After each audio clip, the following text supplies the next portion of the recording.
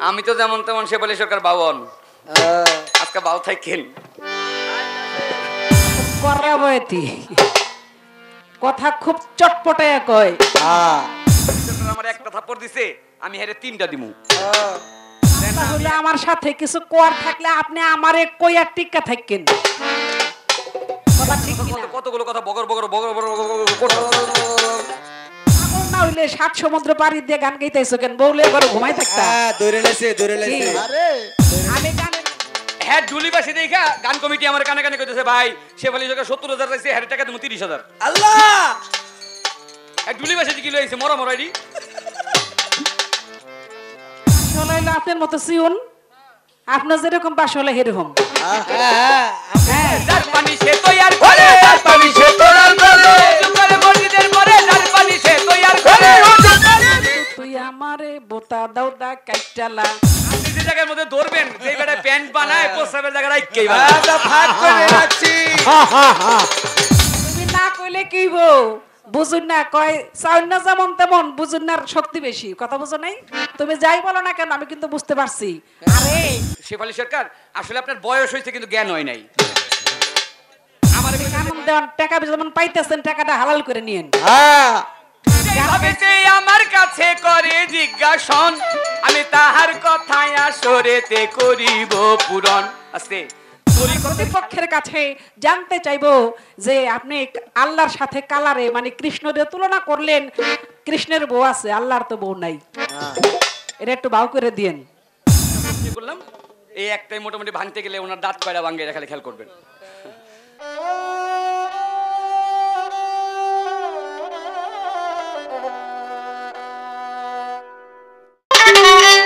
এবার পয়ার ছন্দ ছাইরা দিয়া খেমটা তালে যাও বাজাইয়া করব কিছু ভাবের আলাপন। এবার দিয়া খতমানো যাও বাজারে করব কিছু ভাবের আলাপন। আছেন যত জ্ঞানী শ্রোতা। আছেন যত জ্ঞানী শ্রোতা। সকলকেই করি মান্যতা। চরণেতে নোয়াই মাথা। করি নিবেদন।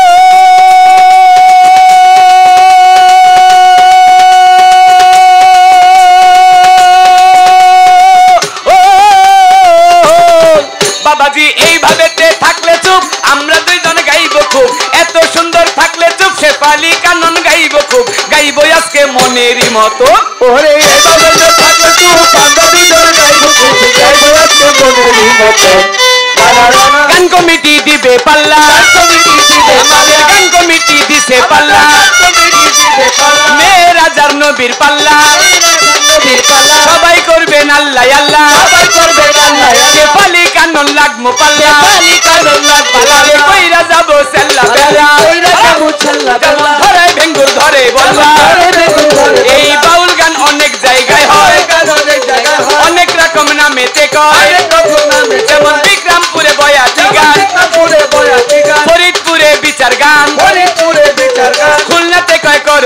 খুলনাতে কয় করো চা গান। আবার বরিশালে জারি গান। কুমিল্লায় কয় দোতরা গান। চট্টগ্রামে ভান্ডারি গান। আবার সিলেট বলে মালজোরা গান। রাজশাহীতে শব্দ গান। চাপাই নবাবগঞ্জে গম্ভীরা গান। রংপুরে কয় ভাওয়াইয়া গান।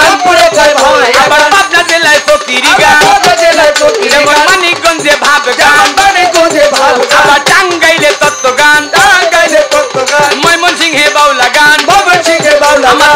ঢাকার কথা বলি, ঢাকা সিটির কথা বলি, ঢাকায় কয় খারা কাওয়ালি? এক এক জায়গায় এক এক রকম নাম।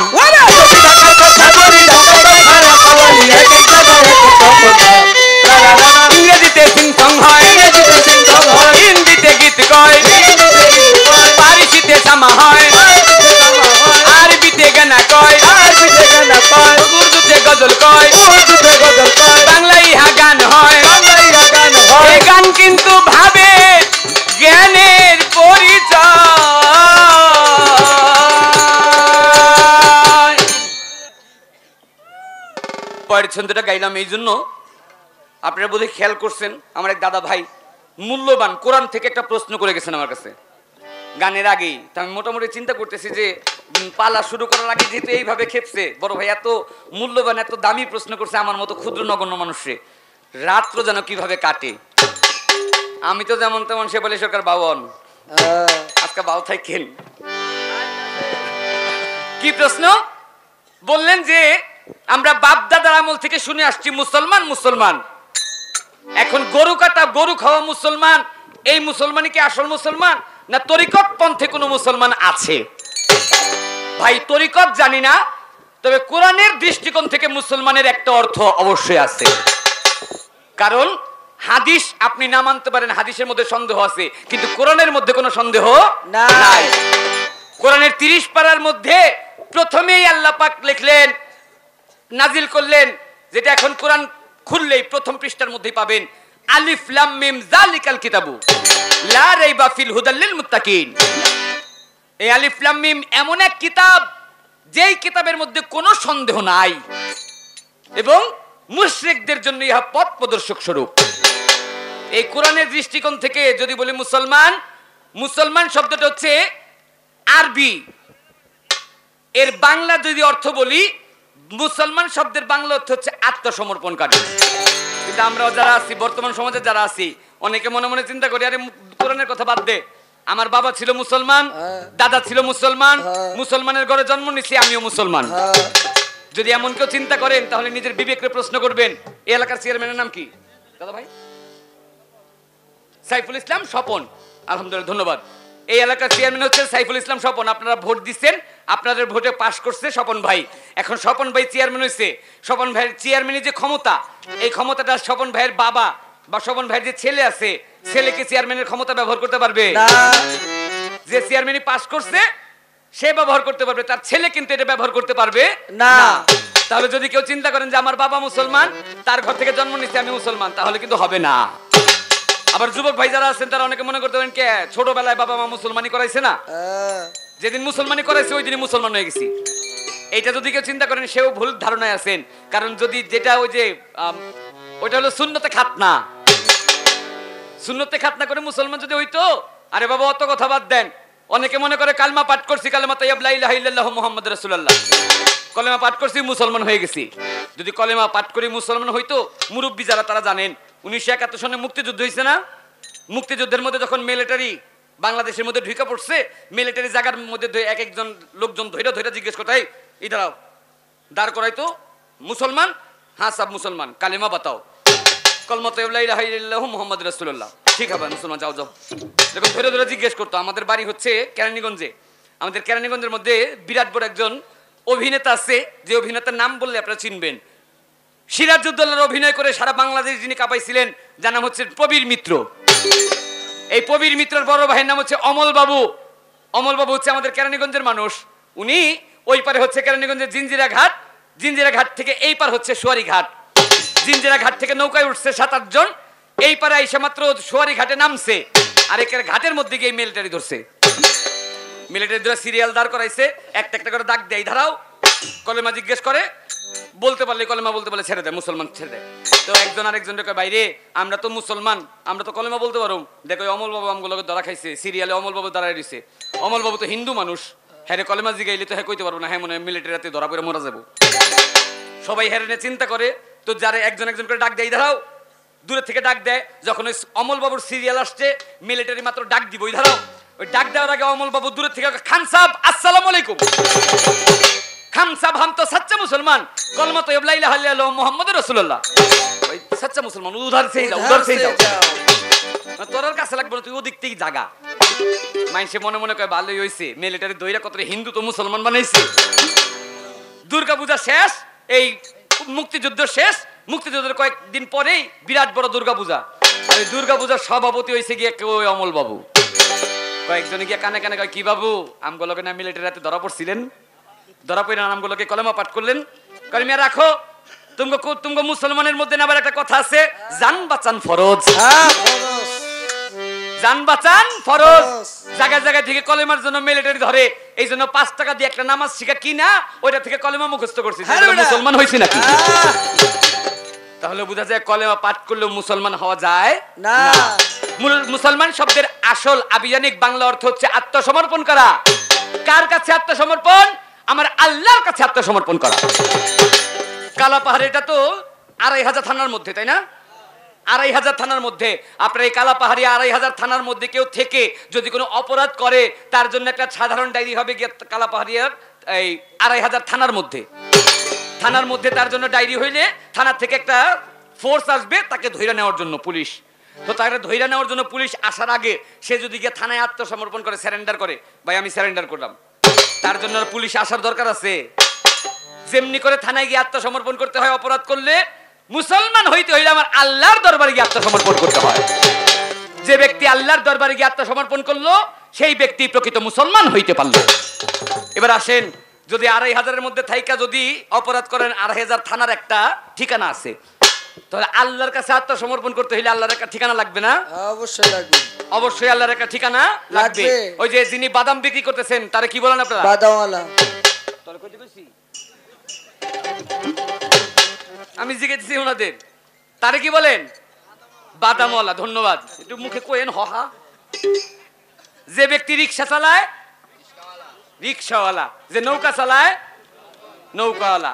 আর যে আল্লাহ আল্লাহ করে আলহামদুলিল্লাহ, আল্লাহওয়ালা।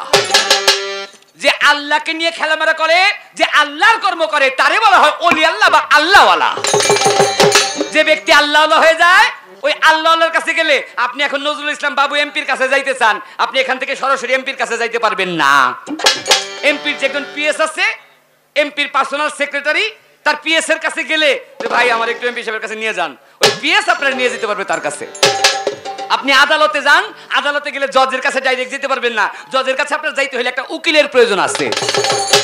তেমনি হইলে আল্লাহর কাছে আত্মসমর্পণ করতে হইলে একজন অলি আল্লাহর দরকার আছে, একজন কামল মুর্শিদ, পীর মুর্শিদের দরকার আছে।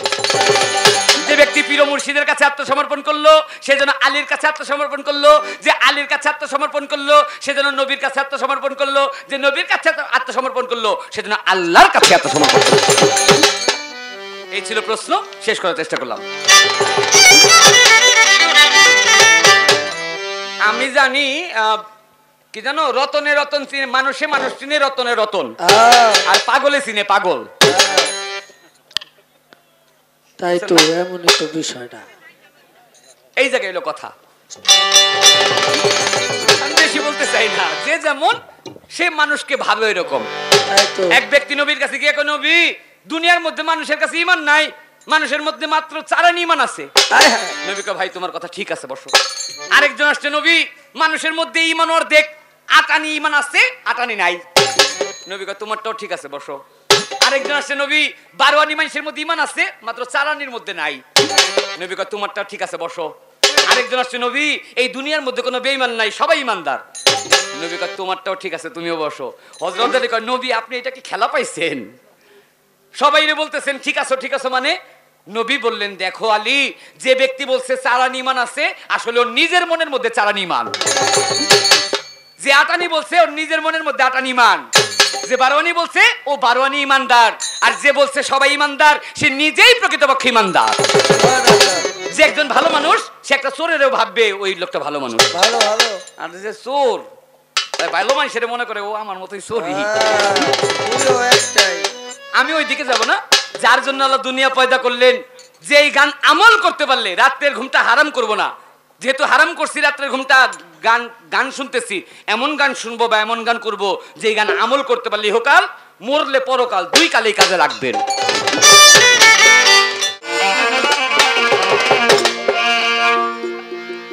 আপনারা সবাই আগের মতো ঠিকঠাক আছেন তো?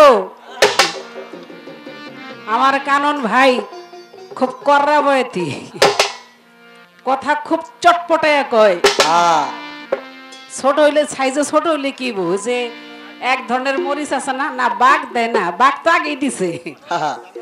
আমি বলতেছি একটা মরিচ আছে সাইজে খুব ছোট হয় কিন্তু এটা মুখে দিয়ে কামড় মারলে খুব জাল লাগে। ইয়ে, কথা ঠিক না? আমার ভাই অত্যন্ত গুণী একজন শিল্পী। ইতিপূর্বে যথেষ্ট নাম তিনি করেছে সারা বাংলাদেশে। আমি মনে করছিলাম যে ছোটই আছে, এখন দিন একটু বড় হইছে আমার ভাই। কথাবার্তায় বোঝা যায় একটু পাকছে।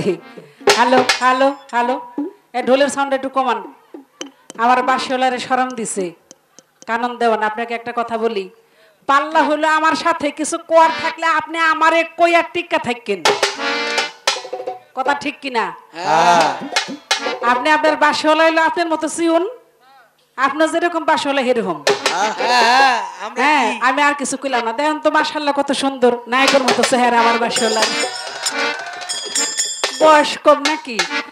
আসলে একটা কথা বলি, সত্যি যেটা, আজকে যারা আমার সাথে বাজাইতেছে, এরা প্রত্যেকেই নতুন। মানে একেবারেই তারাও আমার সাথে নতুন, আমিও তাগোর সাথে নতুন। শুধু আমার এই ভাইটা অনেক আগে আমার চাচা যিনি গণি সরকার, আপনারা অনেক গান শুনছেন তার। ওই গণি কাকার সাথে যখন বাজাইতো, তখন এই খোকন ভাই একটু চলাফেরা আছে। আর বাকি যারা, সবাই কিন্তু এই এলাকায় আসছি, এই জন্য আমি তো আর থাকি এখন মানিকগঞ্জে, সিঙ্গাইরে, আমার জন্মস্থান যেখানে। আমি মিরপুরে থাকি না খুব একটা। বাসা আছে, মাঝে মধ্যে আসে, কিন্তু আমি আজকে আসছি হলো মানিকগঞ্জ থেকে। যার কারণে আমার এই যে রুনা খান, আমার খালা, খালারে বললাম যে, এত দূর থেকে আবার অনেকেই পূজার মধ্যে গেছে বিভিন্ন কাজেই ব্যস্ত, নির্বাচনী যার যার এলাকায় নির্বাচন হইতেছে। তো চিন্তা করলাম, ওই এলাকায় যেহেতু গান, পাশাপাশি যারা কে কে আছে তাদের নিয়ে, এই জন্য আজকে যারা আমার সাথে বাজাইতেছে, সঙ্গত করতেছে, এরা প্রত্যেকে নতুন। আর নতুন হইলে একটু একটু একটু কেমন কেমন হয়, তাই না?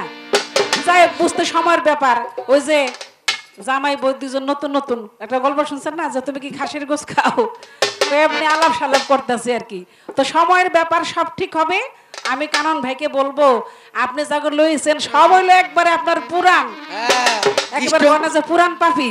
সব লইছে, আপনার। পুরান পাপি। তা আমার যারা নতুন এরা আগে ভয় দেখেন না এরা যা বাজায় তাতে আমি খুশি। আমার গান হইল হইল। যেমন খুশি এমন বাজাক। এই তোরা কিন্তু কেউ ডরাবি না।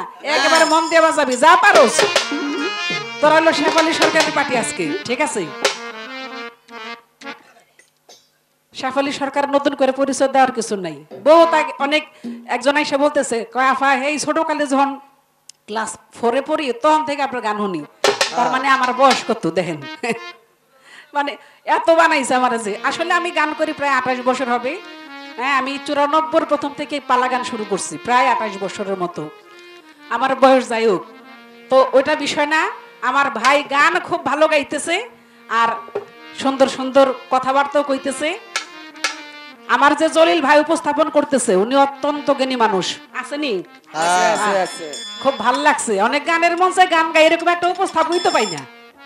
হ্যাঁ, একেবারে করা বয়তে যেমন তেমন আজকের উপস্থাপক কিন্তু খুব সাংঘাতিক। হ্যাঁ। আমি তাকে ধন্যবাদ জানাই। সে একটা প্রশ্ন করছে গানের আগে আমি আগে একটা প্রশ্ন করে লই। আজকে কানন দেওয়ান টাকা যেমন পাইতেছেন টাকাটা হালাল করে নিয়েন। হ্যাঁ। গান গাইছে শ্রীমধুসূদন বিপদ ভঞ্জন ব্রজের ব্রজানন্দ তুমি নারায়ণ ভজিব তোমার রাং আচরণ।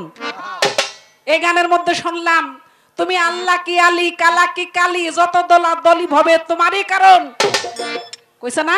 হ্যাঁ হ্যাঁ? হ্যাঁ আচ্ছা এই জায়গায় আপনার কাছে আমার প্রশ্ন। তুমি আল্লাহ কি আলী কালা কি কালি। যত দলাদলি ভাবে তোমারই কারণ। হিন্দু শাস্ত্রের যে কৃষ্ণ মহা- মহাপ্রভু বলা হয় এই কৃষ্ণ বিয়া করছে এই দশটা। তার বউ ছিল দশটা আর তোর গুপির তো শেষই আসিল না। হ্যাঁ। আর ষোলো হাজার গুপি আসিল খালি মায়া লোকে আসিল। হায় হায় লীলা করতো প্রেম করতো বুঝেন নাই? জানেন তো আপনারা। এখন আমি আমার কানন ভাইয়ের কাছে জানতে চাই আপনি বলবেন তুমি আল্লাহ কি আলী কালা কি কালী? মানে কৃষ্ণের তো কালা কয় হ্যাঁ তো হিন্দু শাস্ত্রের কৃষ্ণ আসতে। এই কৃষ্ণ দশটা বিয়ে করছে ষোলো হাজার মায়া লোক লয়ে সে লীলা করছে। আপনি বলবেন আমার আল্লাহরে যে ওই কালার লগে মিলাইলেন কালার কালার তো দশটা বউ আছে আমার আল্লাহর আল্লি আছে কয়টা? হ্যাঁ। আল্লাহর কি বউ আছে আল্লাহ কি বিয়ে করছে?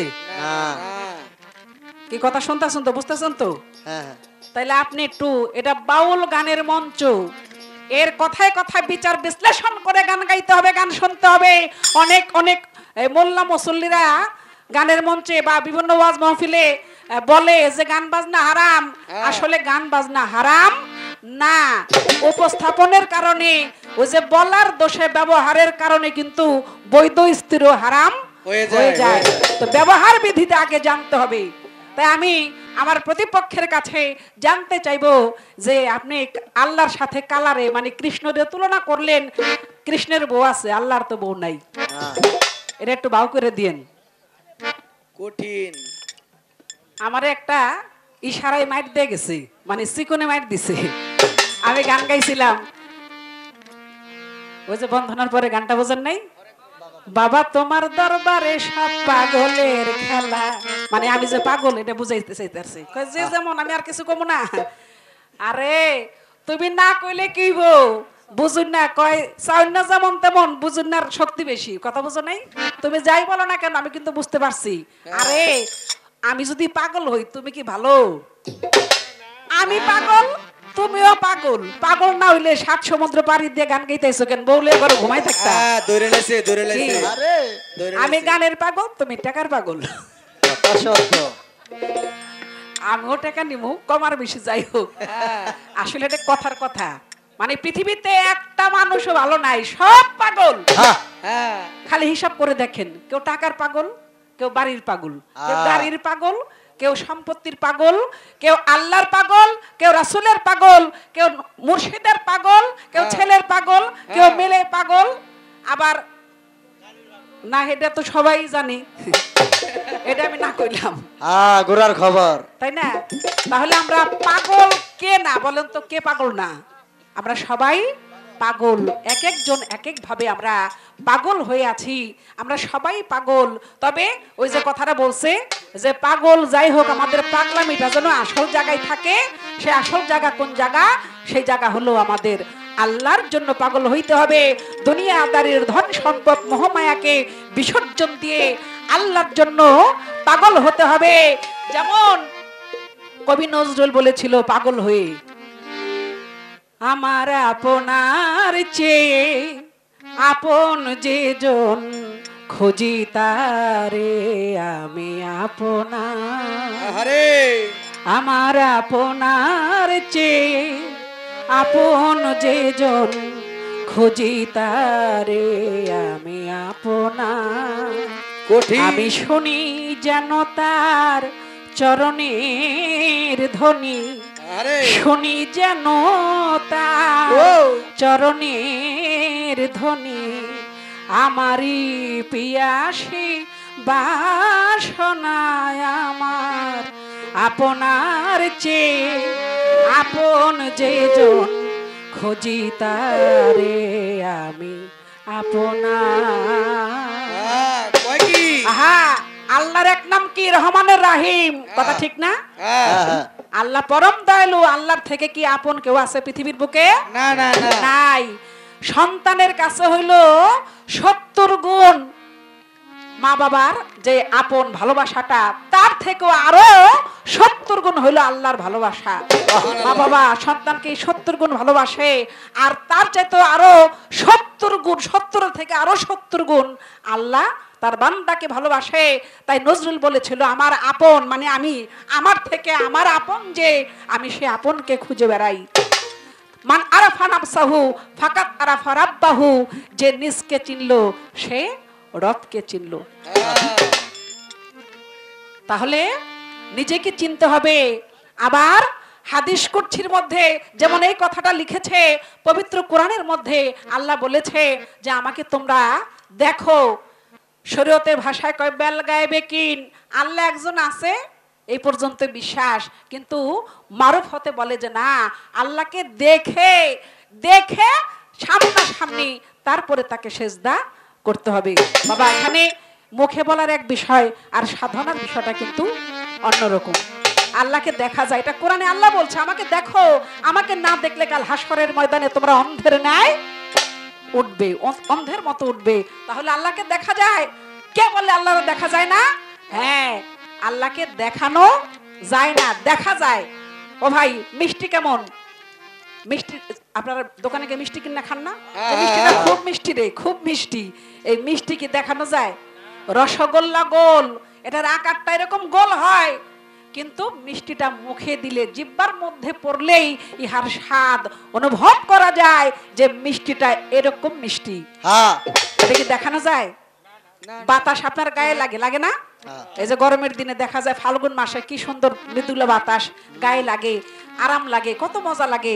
চৈত্র মাসে যখন একটা বাতাস ছাড়ে ঘরের ফ্যানের বাতাস যতই বাতাস এই বাতাসে শান্তি লাগে না। যখন খোদাই বাতাস আপনার গায়ে লাগে আল্লাহর দেওয়া বাতাস যখন আপনার গায়ে লাগে শরীরটা একেবারে শীতল হয়ে যায় কথা ঠিক না?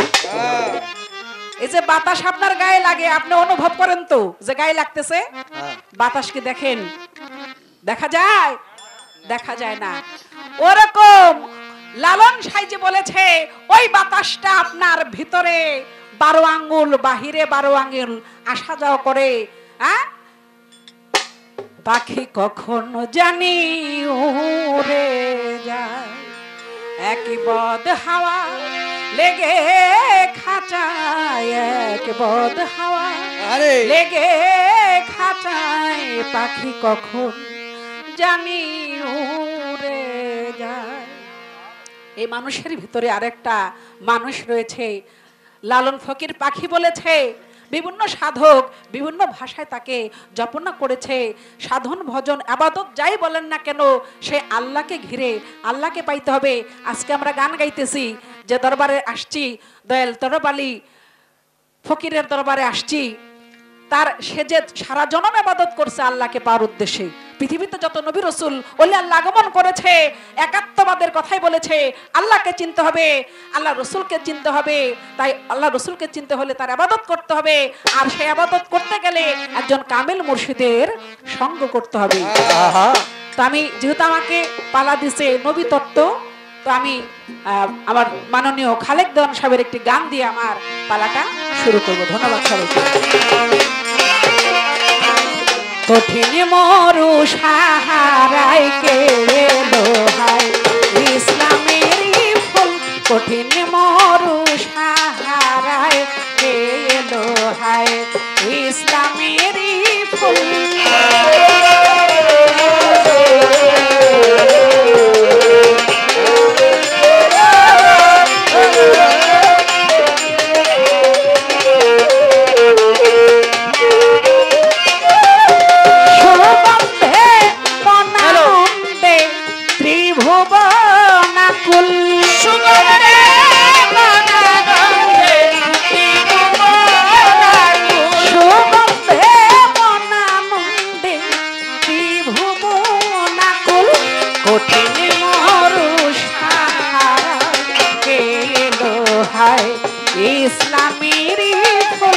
কঠিন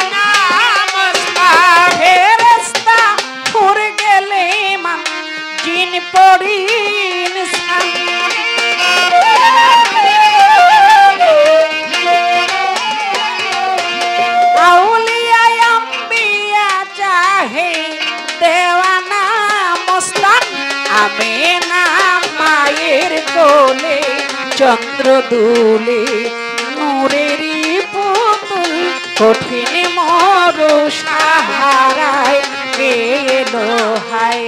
ইসলামের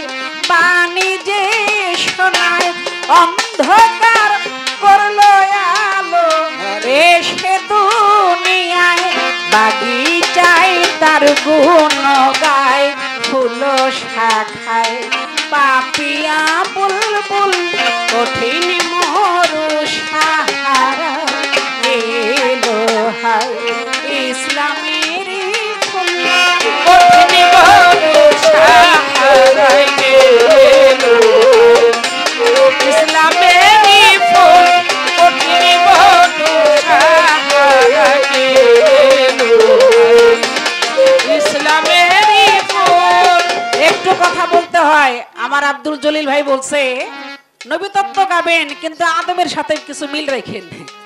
হ্যাঁ আমার নবী নবী নবী, নবীতন, হযরত মোহাম্মদ মুস্তাফা আহমদ মুস্তাফা আলাইহি সাল্লাম, আমার নবীজি সমস্ত নবীর ললাকবি তিনি দুনিয়ার মধ্যে মানব আকারে এসছেন। তিনি আগে, তিনি পরে।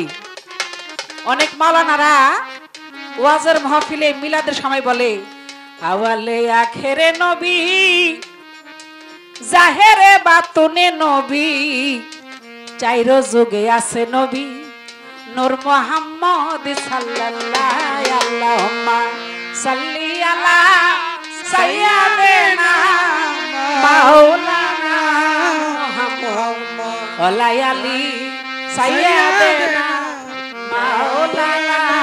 মুহাম্মদ। কথা ঠিক না? তাহলে আওয়ালে এবং আখেরে জাহেরে বাতুনি। অনেকে কয় নবী মরে গেছে। নাউজুবিল্লাহ মিন জালিক। নবী মরে? নবী মরে না। আরে নবী যদি মরে যায় আপনি বাঁচেন নাকি? আওয়ালে নবী আগে ছিল? আখেরে কাল হাসরের ময়দানে থাকবে?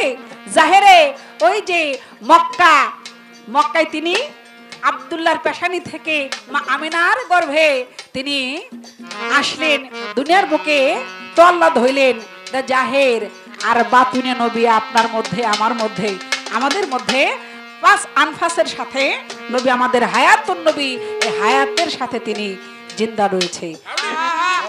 তাই আল্লাহ যখন আদমকে বানাইলেন, আদমকে বানায় আদমের মধ্যে যখন রুহু দিলেন, ওই রুহু থাকতে চায় না। কারণ মাটির ঘর তো অন্ধকার। বাবা অন্ধকার ঘরের মধ্যে কোনো মানুষ থাকতে পারে? কতক্ষণ থাকবেন? অন্ধকার ঘরে? যখন আপনার ঘুম আসবে হয়তো কেউ লাইটটা নিবেই দেই কিন্তু যতক্ষণ আপনি সজাগ আছেন চলাফেরা করবেন আলো ছাড়া কি চলতে পারবেন? পারবেন না। তাই আদমকে বানাই আদমের এই মাটির দেহের মধ্যে যখন রুহু ফুকে দিল, ওই রুহু থাকতে চায় না। যখন আমার মোহাম্মদী নূর সাথে সেই মোহাম্মদী নূরের আলো জ্বালায় দিল, তখনই ওই রুহুটা আদমের মধ্যে স্থান পাইল। সে রয়ে গেল, আর রুহু বের হয় না। কারণ সেখানে যখন মোহাম্মদের স্পর্শ পেয়েছে, মোহাম্মদের নূর পেয়েছে, তখনই সেই রুহুটা আদমের মধ্যে রয়ে গেল। তাই আদম থেকে করে শুরু করে যত নবী দুনিয়ার মধ্যে আসছে, সমস্ত নবীর ললাট বেয়ে আমার হজরতে মোহাম্মদ মোস্তফা, হজুর পাক সাল্লাহ সাল্লাম এই দুনিয়ার মধ্যে তিনি সেই আগমন করেছে। কঠিন সাহারায়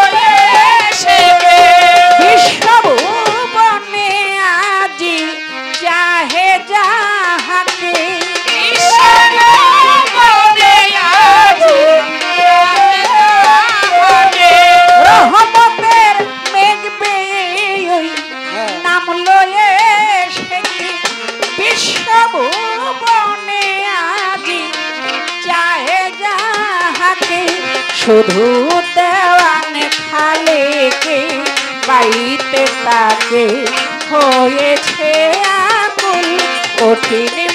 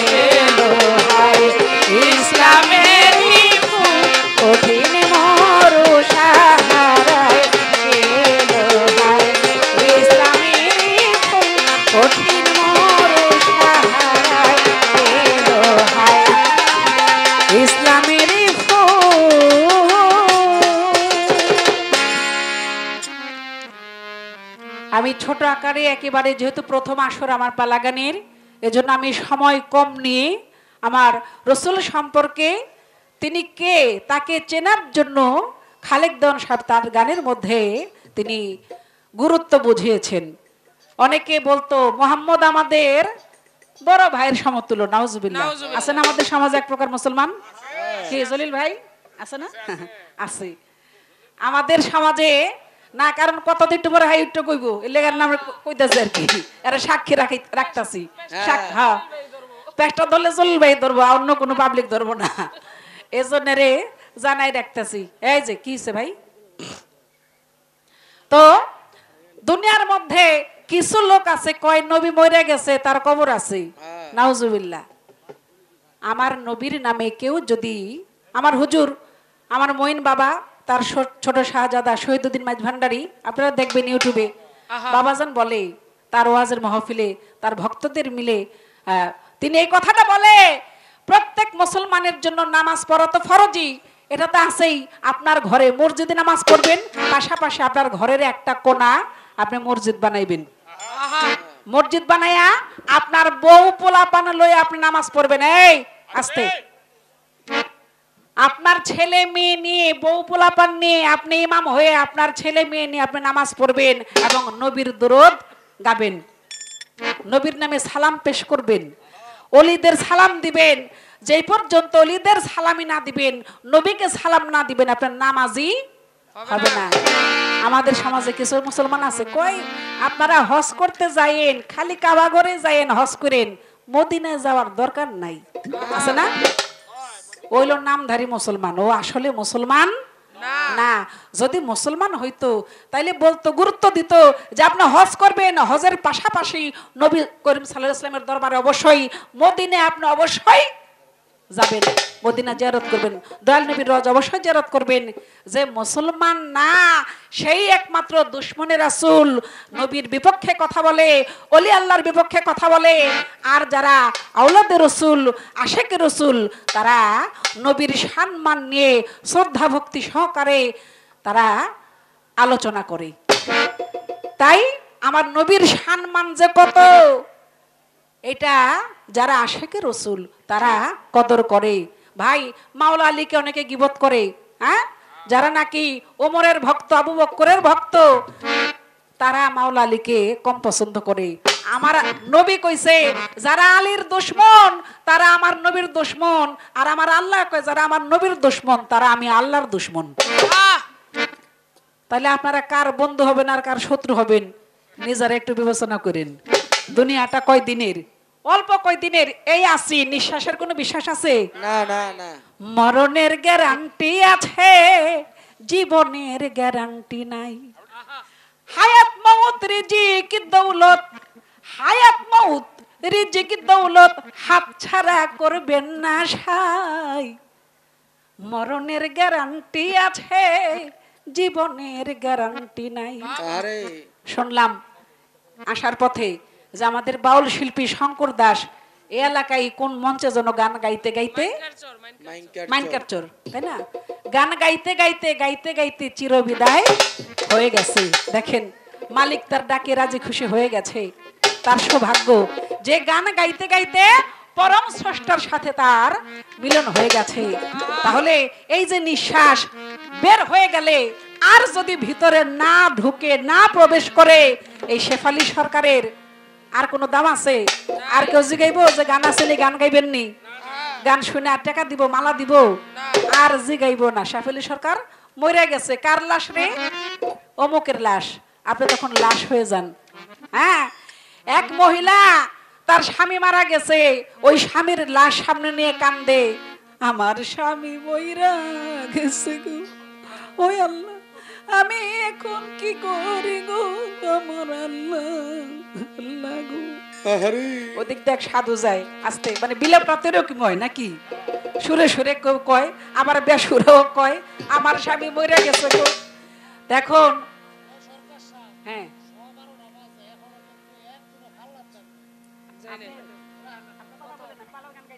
আচ্ছা আপনারা কি বিরক্ত হইতেছেন? আমি যে কথা বলতেছি আমি আল্লাহর স- আপনি পাবলিক রিজিকে না এখন আমি আপনার সাথে পাল্লা করব? আমি কি পালার পালার একটা গান গাইছি না? আমার পালা গানে যে কথা আসবে আমি কি বলব না? নাকি বাদ দিব বাদ দিব বাদ দিব কিনা? এখন সাধু হেঁটে যায়। সাধু বলে মা তুমি কান্দো কেন? আমার স্বামী মারা গেছে। তোমার স্বামী তো তোমার সামনে শুয়ে আছে। মরছে কে? তুমি কার জন্য কান্দো? আমার স্বামীর জন্য। কয়, আরে যার জন্য কান্দো সে তো তোমার সামনে শুয়ে আছে। কান্দো কার জন্য। ও মরছে কে? তার ভিতরে একজন আসিল। যে আসিল বিদায় তোমার স্বামী হাঁটাচলা করছে। সে এখন নাই তাই তোমার স্বামী মরে গেছে। তাহলে যার জন্য কান্দতেছো তারে কি কখনো দেখছ তুমি?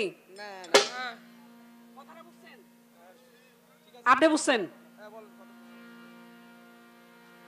আপনি বই রয়েছেন আপনার ভিতরে কে আছে? আপনি যখন কথা কইতেছেন যার শক্তিতে কথা বলতেছেন সে যদি আপনার ভিতর থেকে বের হয়ে যায় এটা কি জিনিস? ডাক্তাররা আমেরিকার ডাক্তাররা তারা একটা জীবিত মানুষকে মানে মরে যাবে অল্প সময় তার বাকি আছে। তারে হইল কাছের মমি দিয়া ঢাইকা রাখছে যে আত্মাটা কোন দিক দিয়ে বাইর হয় এটা আমরা দেখব। কঠিন। ও বাবা আল্লাহর সাথে কোনো পাল্লা চলে? না না। রুহ কি? রুহুটাই আল্লাহর হুকুম কোন? সৃষ্টি হয়ে গেছে। ফায়াকুন ধ্বংস হয়ে যাবে। হুকুমটাই আল্লাহর রুহু। রুহুটাই আল্লাহর হুকুম। তো আল্লাহর যখন হুকুম হয় রুহু বের হয়ে যাবে বাংলাদেশ পাকিস্তান ভারত আমেরিকা যত বড় বৈজ্ঞানিক হোক যত বিশ্বের বড় বৈজ্ঞানিক হোক ডাক্তার হোক আল্লাহর সাথে কোনো ডাক্তারের পাল্লা চলবে? এরা চিন্তা করছে যে রুহুটা দেখতে কেমন? রুহুটা কেমনে বাইরে হয়? এটা আমরা পর্যবেক্ষণ করব। কেমনে? একেবারে কাছের মমির মধ্যে মানুষটারে ঢুকাই দিয়া চতুর্দিক বন্ধ করে দিছে। এরা রুহু দেখব।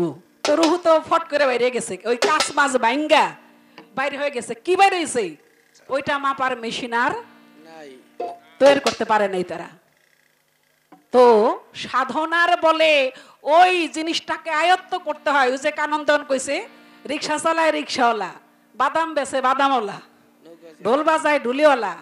এরকম কইতে কইতে একটা পর্যায়ে কইছে না যে যারা আল্লাহর সাধন করে তারা হইল আল্লাহ আল্লাহওয়ালা। তাই ওই বাতাসটাকে ওই বাতাসের ভিতরে যে আসা যাওয়া করে কি জিনিস ওই জিনিসটাকে দেখার জন্য জানার জন্যই যত রকমের আরাধনা সাধনা ভজনা উপাসনা যাই বলেন না কেন নামাজ রোজা এটা সহজ ভাষা। যা আছে ওই যে বাতাসের এটা কি জিনিস এটা কই যায় কই থেকে বাইরে হয় কি জিনিস এটার জন্যই যত রকমের সাধনা, এবাদত বন্দেকি বিচ্ছেদ গান গামু। ওই যে একজনে গাইছে, সোনা বন্ধু, তুই আমারে বোতা দাও দা কাইটালা।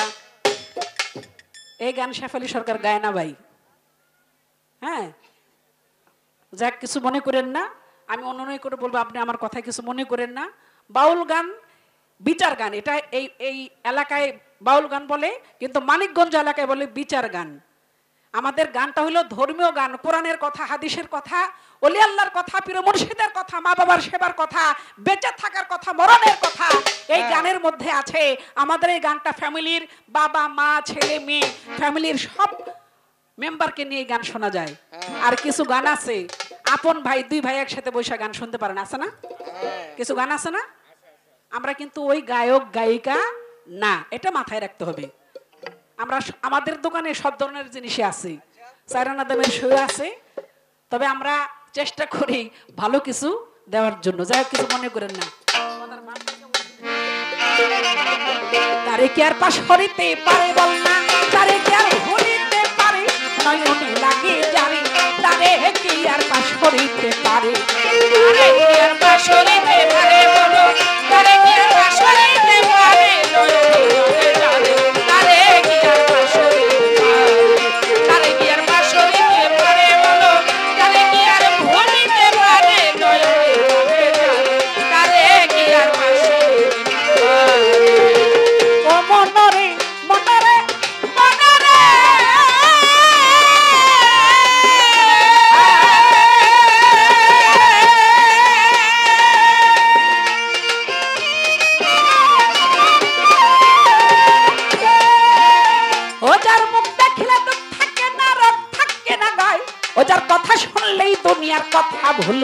পড়িয়া যায়।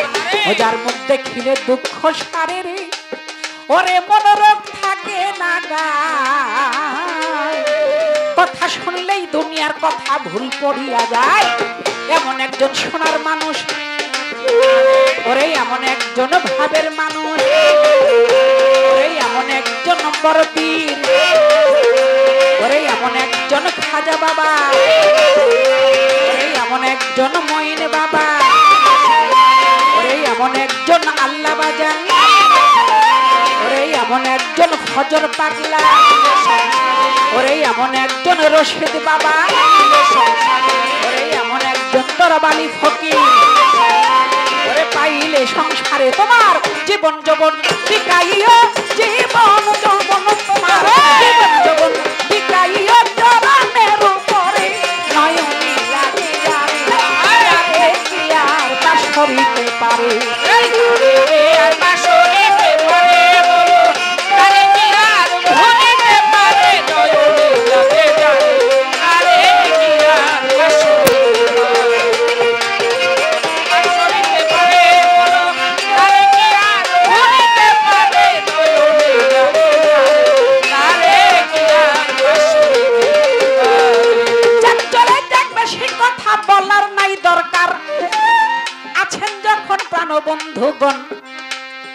শুনিবেন সমাচার। যেভাবে তে পালা দিল ধর্মরাজা সরে। নবী তত্ত্ব মেরাজ তত্ত্ব গাইব আসরে। প্রতিপক্ষ কানন দেওয়ান মেরাজ গাইবে, বলছে বর্তমান। সেখান থেকে প্রশ্ন করব, শেফালি শুনবেন বর্তমান। আপনার কাছে আমার জানার বিষয়, আপনি বলবেন, আমার দয়াল নবী মেরাজে গিয়েছে অম্মেহানির ঘর থেকে, হাদিসে বলছে, দয়াল নবী মেরাজ গেছে, কাবা ঘরের সম্মুখ থেকে, দয়াল নবী মেরাজ গেছে হাতিম নামক স্থান থেকে। আমি জানতে চাই, এই যে তিনটা জায়গার কথা বলছি, আসলে সত্য কোনটা? নবী কি হাতিম জায়গা থেকে গেছে, মক্কা থেকে গেছে, না ওম্মেহানির ঘর থেকে গেছে? পাশাপাশি সংপূর্ণ একটা প্রশ্ন আপনি বলবেন দয়াল নবীর আমরা জানি, হাদিস সম্পর্কে পড়েছি যে দয়াল নবীর একাধিক স্ত্রী ছিল। একাধিক স্ত্রী থাকা সত্ত্বেও দয়াল নবী কোন স্ত্রীর ঘর থেকে মেরাজে না যাইয়া তিনি উম্মে হানির ঘর থেকে গেল। ইহার কারণটা কি এবং উম্মে হানির সাথে সম্পর্ক কি ছিল? কি? সম্পর্কটা কি ছিল? যদি পারেন একটু কইেন যে হাদিসে আর একটু সুন্দর ব্যাখ্যা আছে, কয়েকটা সম্পর্ক ছিল কিন্তু অন্যান্য স্ত্রী থাকা সত্ত্বেও মেহানের ঘর থেকে কেন গেল ইহার কারণটা একটু বলে দিবেন। এই পর্যন্ত রয়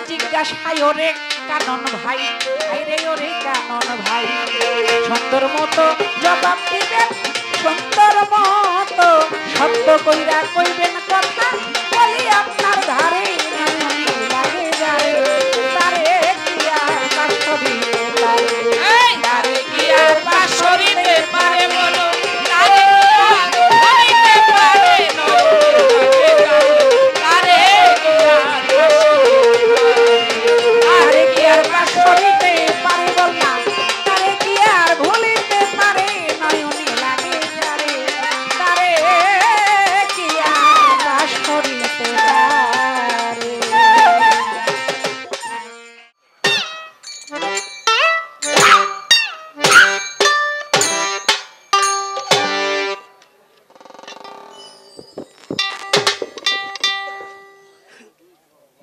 মাননীয় গান কমিটিকে আমার নবীর জীবনের দুইটা অংশ।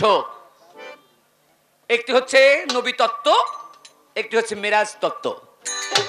আমার নবী প্রথমে আল্লাহর নূর দ্বিতীয়ত গাছের মূল, তৃতীয়তে সেতার নবী, চতুর্থে ময়ূরী আকার পঞ্চমেতে ডিম্ব আকার, ষষ্ঠমেতে আদম শফি বৃক্ষের ফুল, সপ্তমেতে আবদুল্লাহর পেশানিতে, অষ্টমেতে মা আমিনার গর্ভে, নবমেতে দুনিয়ায়, দশমীতে তিনি মিরাজের মধ্যে।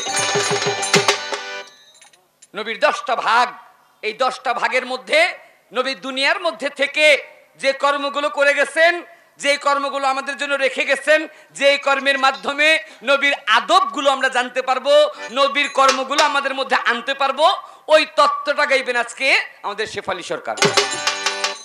নবী তার জীবদ্দশায় নবী একবার আল্লাহর সাথে মোলাকাত করলেন। মিরাজ শব্দের বাংলা অর্থ হচ্ছে মোলাকাত মানে দেখাশোনা করা। আমি কানন্দন গান করতে আসছি, শেফালি সরকার গান করতে আসছে। শেফালি সরকার এখানে আসছে মোটামুটি বেলা তিনটা বাজে। আমি বোনরে বললাম বোন আর একটু আগে যদি আইতেন তাহলে দুপুরের খাওয়ানটা এই জায়গায় খাইতেন। সব জায়গায় এরকমই করে। উনি একটু আগে আগেই যায়। নদী পথ ভয় একটু বেশি পায়। আর অভিজ্ঞতা আছে না? তিরিশ বছরে আঠাইশ বছরের অভিজ্ঞতা। পুরানো কত জায়গায় অভিজ্ঞতা ধরাও খাইছে। ওই অভিজ্ঞতার ভয়ের চোটে এখন আগে আগে চলে আসে। তো শেফালি সরকার এখানে গান করতে আসছেন তিনটা বাজে। কিন্তু তিনটা বাজে কি স্টেজের মধ্যে আসছে? না না। তিনটা বাজতে আসছেন বাড়িতে? তিনটা থেকে চারটা পাঁচটা ছয়টা সাতটা আটটা নয়টা আটটা বাজে সাড়ে আটটা বাজে আসছে আমি। আমার সাথে বসে একসাথে খাওয়া দাওয়া করলাম। খাওয়া দাওয়া করে কাপড় চোপড় পাল্টাইছেন এরপরে একটু সাজগোজ করছেন। একটু মেকআপ করছেন। এরপরে মঞ্চে আসছেন। এরপরে বেহালা ঠিক করছেন। হারমোনিয়াম টারমোনিয়াম সব ঠিক করছে। এরপরে মাইকে দাঁড়াইছে। তারপরে গান শুরু করছে। ঠিক তেমনি আমার নবী দুনিয়ার মধ্যে এসছেন। তার আদব কায়দাগুলো মানুষের মধ্যে ধারণ করেছেন, নবুয়ত হাসিল করেছেন, এরপর তিনি চলে গেছেন তাইব শহরে ইসলাম প্রচার করার জন্য। নবী তার জীবদ্দশা বাবা কথা বলতেছে, খারাপ লাগে নাকি আবার? আলহামদুলিল্লাহ। যে মুরব্বীরা আসছেন, আপনাদের চোখে মুখে দেখলেই বোঝা যায়।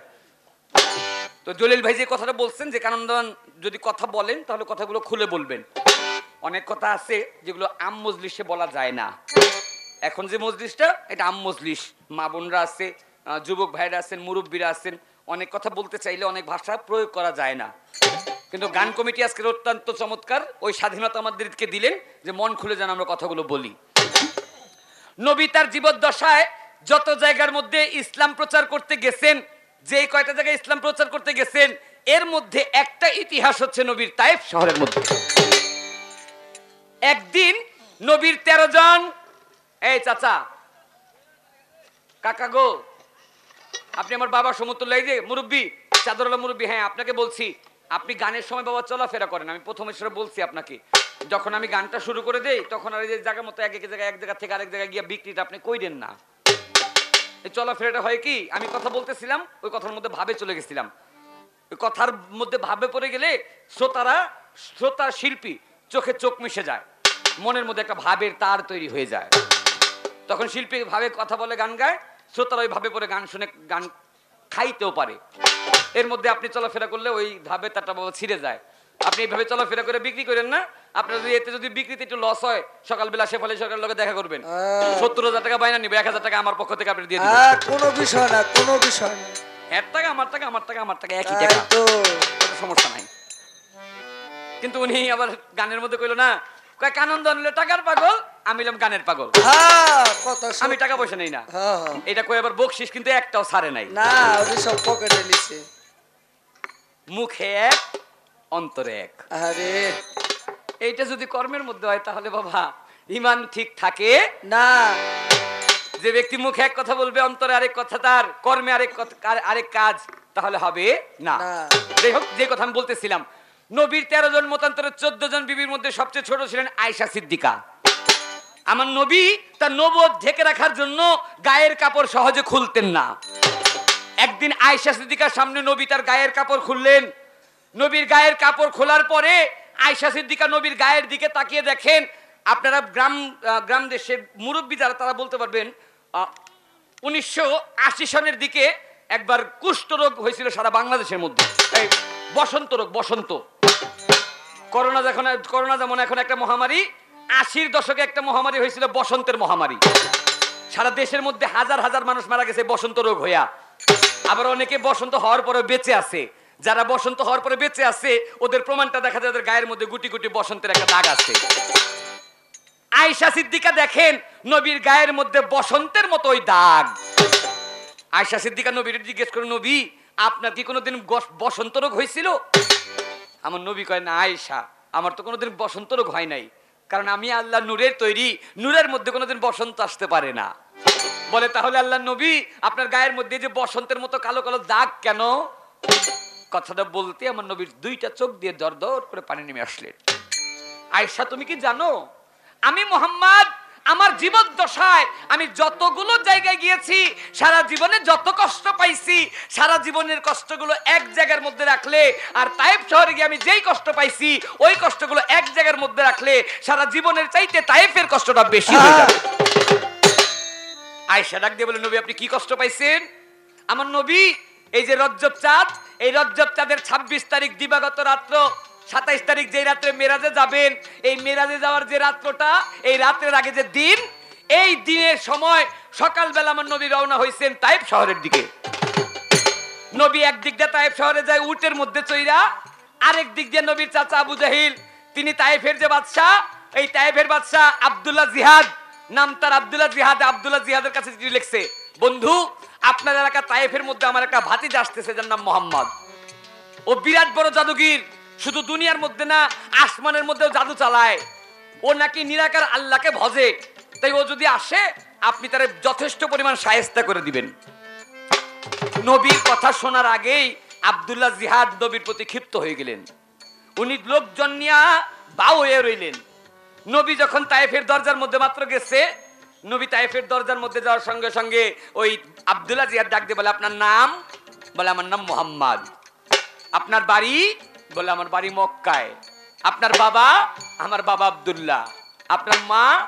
আমার মা মেনা বলে, আপনি কেন আসছেন? আমার নবী বলে, আমি আল্লাহর সৌগাত নিয়ে আসছি। যে আল্লাহ আপনাকে, আমাকে সবাইকে সৃষ্টি করেছেন, ওই আল্লাহর দাওয়াত, কলেমার দাওয়াত নিয়ে আসছি। কালেমা তাই লা ইলাহা ইল্লাল্লাহ মুহাম্মাদুর রাসূলুল্লাহ। সবাই একবার বলি, সাল্লাল্লাহু আলাইহি সেই নবীর দাওয়াত, নবীর কলেমা, আল্লাহর কলেমা আপনাদের মধ্যে নিয়ে আসছি। আর, এই কথা বলতে দেরি। তাইফের বাদশা ডাক দেখে এই তাইফবাসীগণ তোমাদের সবার কাছে আমি বললাম, শোনো, তোমরা সবাই জেনে রাখো, এই যে মোহাম্মদকে দেখতেছো, আমি বাদশাহ, আমার হুকুম পালন করা তোমাদের সবার কর্তব্য। আমি বাদশাহ হয়ে হুকুম দিলাম, এই মোহাম্মদরে যে দেখবা, তার কাছে আমার হুকুম, সে মোহাম্মদরে দেখলেই পাথর মারবা। আইন হয়ে গেল, যে নবীরে দেখবা, সেই পাথর মারবা। কিন্তু শর্ত আছে, পাথর যে মারবা, তার মধ্যে শর্ত আছে ওই মোহাম্মদ রেখে বড় পাথর মারতে পারবা না। বড় পাথর মারলে বড় পাথরের আঘাতে মোহাম্মদ তাড়াতাড়ি মরে যাবে। মোহাম্মদকে তাড়াতাড়ি মরতে দেওয়া যাবে না। মোহাম্মদকে তিলে তিলে মারবা। ছোট ছোট পাথর মারবা। নবী আমার পথের মধ্য দিয়ে হেঁটে হেঁটে যায়। আর পথের দুই পাশ থেকে দাঁড়িয়ে কাফেরের দল পাথর দুই হাতের মধ্যে দুইটা দুইটা নিয়ে পাথরের মধ্যে পাথর বাড়ি দিয়া টুকরা টুকরা বানায়। ছোট ছোট বানায়া নবীর নবীর উপরে বৃষ্টির মতো পাথর মারতে লাগবে। বৃষ্টি যে আকারে পরে বৃষ্টির চাইতে বেশি নবীর গায়ে পাথর পড়তে লাগলেন। আমার নবী মোহাম্মদ মাথা থেকে পা পর্যন্ত রক্তে রঞ্জিত হয়ে গেলেন। নবী রক্ত ঝরতে ঝরতে ঝরতে ঝরতে আমার নবী একটু দুর্বল হয়ে গেলেন। নবী একটু দুর্বল হয়ে ওই তাইফ থেকে বের হয়ে আসলেন। তাইফের পাশে একটা জঙ্গল। ওই জঙ্গলের মধ্যে নবী মাত্র জঙ্গলের মাঝখানে গিয়ে অজ্ঞান হয়ে পড়ে গেলেন। আর জঙ্গলের যত হরিণ আমরা মানুষ হয়ে নবীরে চিনি না। জঙ্গলের যত হরিণ, ওই হরিণ আমার নবীকে চিনতেন। জঙ্গলের হরিণ খাওয়া দাওয়া বাদ দিয়ে সব হরিণ একত্রিত হয়ে এসে আমার নবীর রক্ত দেখে সবাই চোখের পানি ছাড়তে ওই বনের মধ্যে হরিণ শিকার করতে গেছেন নবীর আরেকজন চাচা। বিরাট বড় ছিলেন বীর, নাম ছিলেন তার আমির হামজা। আমির হামজা হরিণ শিকার করতে গেছে, কিন্তু পুরো জঙ্গলের মধ্যে ঘুরে দেখে পুরো জঙ্গল খালি, কোন জায়গার মধ্যে একটা হরিণ নাই। খুঁজতে খুঁজতে খুঁজতে খুঁজতে যেই জায়গার মধ্যে আমার নবীকে অজ্ঞান হয়ে পড়ে আছে, নবীকে ঘিরে আছে জঙ্গলে সব হরিণ। ওই আমির হামজা গিয়া দেখে সব হরিণের দল এক জায়গার মধ্যে একত্রিত হওয়া।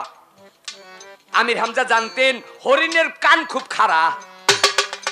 পাতার শব্দ, পাতা পড়লে পাতার শব্দ হরিণ শুনতে পারে। আর আমির হামজা হাইটা হাইটা সামনে যায়, পায়ের শব্দ পায়, কিন্তু একটা হরিণও নড়ে না। আমির হামজা মনে মনে চিন্তা করে, বিষয়টা কি? আমি হরিণ শিকার করার জন্য সামনে যাই, আমি পায়ের আওয়াজ হয়, কিন্তু পায়ের আওয়াজে হরিণ একটাও নড়ে না কেন? আমির হামজা হাতের তীর ফেলে দিছে।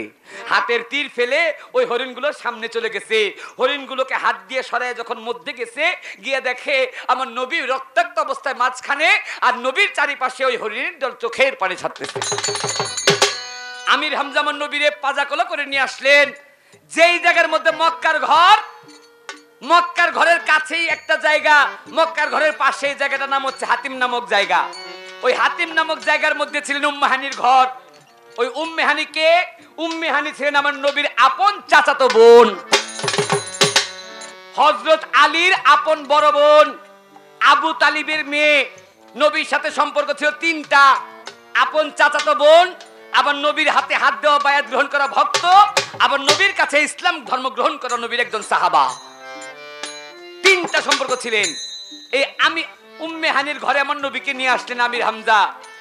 নবী ওই ঘরের মধ্যে অজ্ঞান অবস্থায়, তন্দ্রাচ্ছন্ন অবস্থায় শেষদায় পড়ে রইলেন বারেলাহি আমি তো মানুষগুলোকে আমার আল্লাহ ডাক দিয়ে বলেন, নবী, আমি আপনার জন্য দুনিয়াটা বানাইছি। আপনি শুধু একবার আদেশ দেন, আমি জিব্রাইলকে বলব, জিব্রাইল তার পাখা দিয়ে একটা বাড়ি দিবে, ওই তাইপ শহরটাকে আমি সাগরের মধ্যে পরিণত করে দেবো যে তাইববাসীরা আপনাকে মারছে, আমি ওই তাইববাসীকে ধ্বংস করে দিব। আমার নবী দুই হাত জড়ো করে আমার আল্লাহর দরবারে চোখের পানি ছাড়েন, আল্লাহ, ও আল্লাহ, ওরা আমারে জানে নাই এই জন্য আমারে মারছে। আল্লাহ গো, আমি আপনার কাছে কসম খেয়ে বললাম, আপনি একটা তাইববাসী একটা চুল পরিমাণ ক্ষতি করবেন না। ও বাবা আমাদের বর্তমান সমাজে আমরা চিন্তা করি সে শেফালি সরকার আমার একটা থাপ্পড় দিছে আমি হেরে তিনটা দিব হ্যাঁ। দেন না আমি একটা কথা কইছিলাম একটা কথা কত কতগুলো কথা বগর বগর বগর বগর মানে সার নাই কথা কইতে পারলে হইল তো এরকম অবস্থা আমাদের বর্তমানে একজন আমরা বর্তমানে একজন একটা গালি দিলে ওরে তিনটা গালি দিই। একজন একটা মারলে আমি তিনটা মারি। কিন্তু আমার নবী এমন ছিলেন যারা নবীদের রক্তাক্ত বানাইছেন নবী তাদের জন্যই বলছেন আমি তাদের জন্য সাফায়াত চাই আল্লাহ আপনি তাদেরকে বিনা হিসেবে জান্নাতে দিয়ে দিবেন। এমন সময় আমার নবীর কাছে সাপোজলি আজকে এখানে আসছি আমার জমির আলী ভাই জমির আলী ভাই সিরাজ ভাই ওনারা সবাই ফোন করছেন ওনাদের সাথে একটা সম্পর্ক হয়েছে মোবাইলের মাধ্যমে বায়না করছেন। আমার কাছে দায়িত্ব দিচ্ছেন শেফালি সরকারে নিয়ে আসবেন। আমি যে কেমনে আনছি এটা আল্লাহ জানে আর আমি জানি এটা বাদ এটা কথা পরে।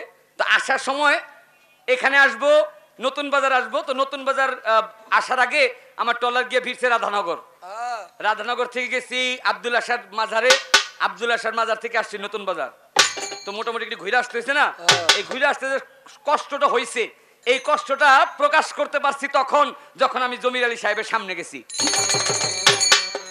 ভাই, আপনার বাড়িতে আসছে, আমার মোটামুটি ঘুরে আসতে হয়েছে। একটু কষ্ট হয়েছে। আমার আল্লাহ নিজে জিব্রাইলকে দিয়ে দাওয়াত পাঠাইলেন। জিব্রাইল, তুমি দাওয়াত নিয়ে যাও। আজকে আমার মোহাম্মদ যে কষ্ট পাইছে, মোহাম্মদের এই কষ্ট লাগাও ভাবে আমি আল্লাহর কাছে আসলে।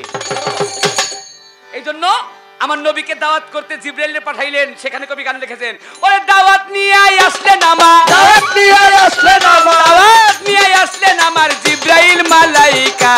ধন্য হলো পুণ্য ভূমি নগরী মক্কা। ওরে ধন্য হলো পুণ্য ভূমি নগরী মক্কা। দাওয়াত নিয়ে আসলেন আমার। দাওয়াত নিয়ে আসলেন আমার জিব্রাইল মালাইকা। ধন্য হলো পূর্ণ ভূমি নগরী মক্কা তোর ধন্য হলো পূর্ণ ভূমি নগরী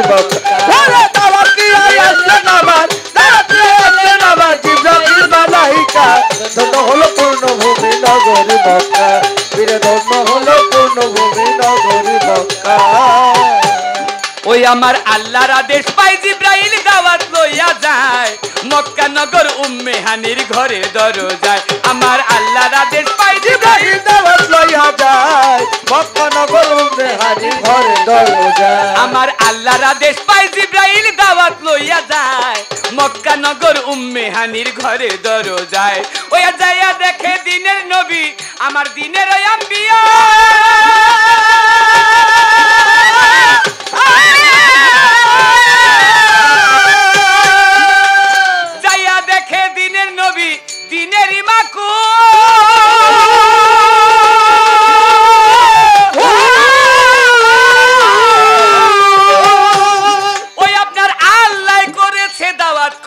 কবুল।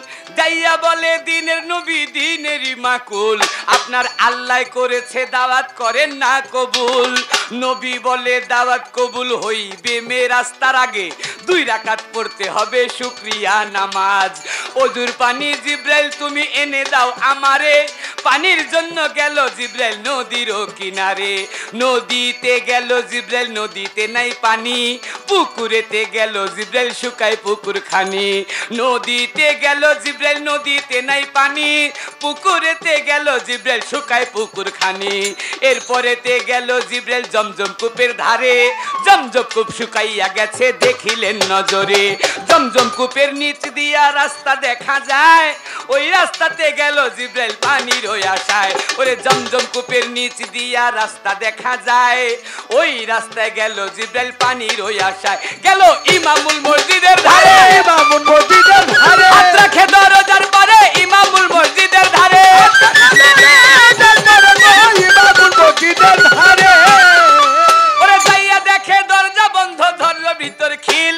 কলিমা পাঠ করল তখন আমার জিব্রাইল। ওরে পানির জন্য গেল জিব্রাইল চতুর্থ আসমানে।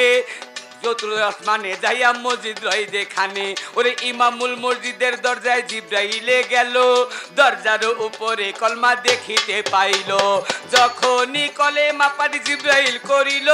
সঙ্গে সঙ্গে দরজা খুলিল। দরজা খুলিয়া জিব্রাইল ভিতরেতে যায়, ভিতরেতে ঘুমন্ত এক ব্যক্তি পাচ্ছে পায়। ওরে মাথায় কাপড় দিয়া তিনি মাথায় পায়ে কাপড় দিয়া রইয়াছে, ঘুমাইয়া উপরেতে মশারি টানানো দেখিলেন চাহিয়া।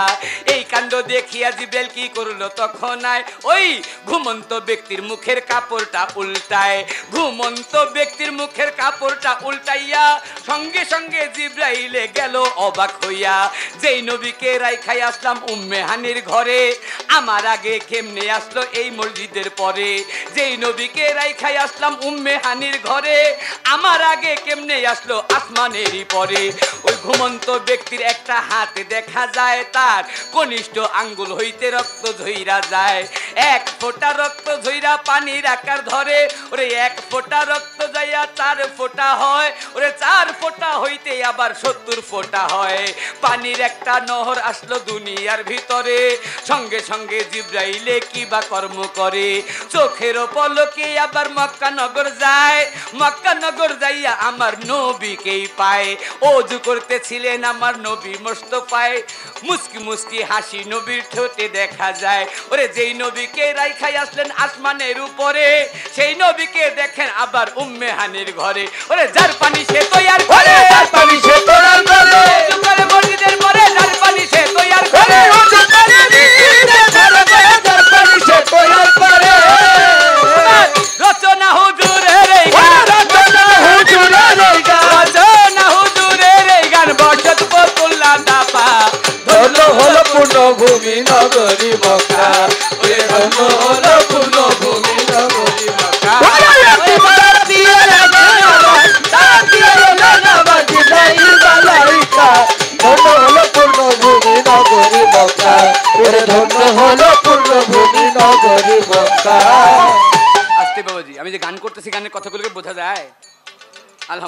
গানের কথাগুলো বোঝা গেলে আমার জন্য গাওয়াটা সার্থক। নবীর জন্য জিব্রাইল আসলেন। নবী আপনাকে আল্লাহর দাওয়াত দিয়েছেন। মিরাজ করতে যাবেন না। নবী বলে, যাব। তার আগে দুই রাকাত শুক্রিয়ার নামাজ আদায় করতে হবে। আমি তো মিরাজে যাব, আমার জন্য একটু অজুর পানি নিয়ে আসেন। জিব্রাইল নবীর জন্য অজুর পানি আনতে গেলেন। পুকুরেতে গেছে, গিয়ে দেখে পুকুর শুকায় গেছে। চলে গেছেন নদীতে, গিয়ে দেখেন নদী শুকিয়ে গেছে। সাগরে সাগর শুকিয়ে গেছে। জিব্রাইল চিন্তা করে দুনিয়ার সব জায়গা শুকায় গেলে একটা জায়গা শুকায় না, সেটা হচ্ছে জমজম কূপ। চলে গেছে জমজম কূপের সামনে, গিয়ে দেখে জমজম কূপ শুকিয়ে গেছে, সেখানেও পানি নাই। জিব্রাইল অবাক হয়ে গেছেন, পানি নেই কেন? পানির জন্য যে ওই জমজম কূপের নিচের দিকে তাকাইছে, দেখে কূপের নিচ দিয়ে একটা রাস্তা দেখা যায়। জিব্রাইল ওই কূপের নিচ দিয়ে রাস্তা দিয়ে যাইতে যাইতে যাইতে যাইতে এমন জায়গায় গেছেন, গিয়ে দেখে দুনিয়ার মধ্যে নাই, চতুর্থ আসমান ইমামুল মসজিদের সামনে চলে গেছে। ওই ইমামুল মসজিদের দরজার মধ্যে কলেমা লেখা জিব্রাইল একবার কালেমা পাঠ করেছেন, দরজা খুলে গেছে। দরজা খুলে ভিতরে গেছেন। ভিতরে গিয়ে দেখে মসজিদের ভিতরে কেউ নামাজ আদায় করে না। মশারি টানানো, মশারির ভিতরে একটা লোক পায়ে সেরে সেরে পায়ে কাপড় দিয়ে ঘুমিয়ে আছে। ওই ঘুমন্ত ব্যক্তির চেহারাটা দেখার আগে দেখে ঘুমন্ত ব্যক্তির একটা হাত মাত্র বাইরে। তার একটা হাতের কনিষ্ঠ আঙ্গুল থেকে এক ফোঁটা রক্ত ঝরে। এক ফোঁটা রক্ত গিয়ে চার ফোঁটা রক্ত, চার ফোঁটা রক্তের এক এক ফোঁটা থেকে সত্তর ফোঁটা করে রক্ত, সত্তর ফোঁটা রক্তের এক এক ফোঁটা থেকে সত্তর ফোঁটা করে পানি। এইভাবে পৃথিবীর মধ্যে একটা নহর আসছে। চিন্তা করে এই লোকটার মাধ্যমে, এই লোকটার হাতের রক্ত থেকে দুনিয়ার মধ্যে পানির নহর যায় লোকটাকে। এই লোকটাকে দেখার জন্য মাত্র তার মুখের কাপড়টা উল্টাইছে।